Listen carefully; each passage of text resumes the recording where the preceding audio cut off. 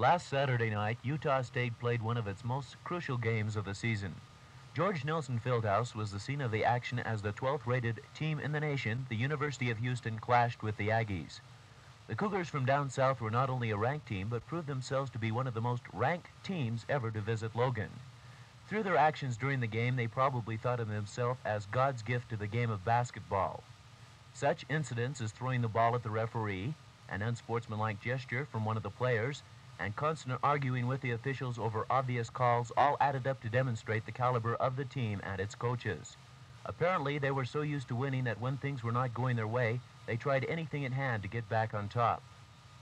But it just wasn't their night. The score was tied six times before the Aggies pulled away at 26 to 23 and were never to be caught again.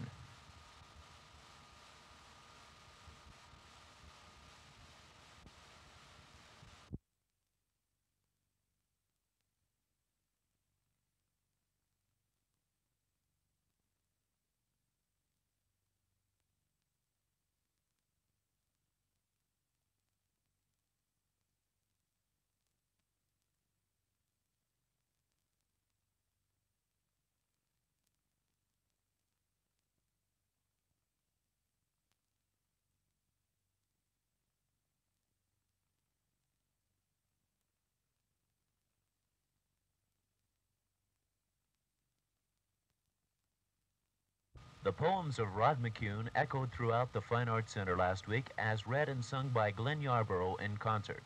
The Crucifixion, Each of Us Alone, Listen to the Warm, and Let Me Choose My Life highlighted the medley of poems performed by the noted folk singer. Yarbrough belted out his famous ballad Baby the Rain Must Fall and led the audience in singing Rose. The performance was rounded out by the annex of a very funny comedian, George McKelvey.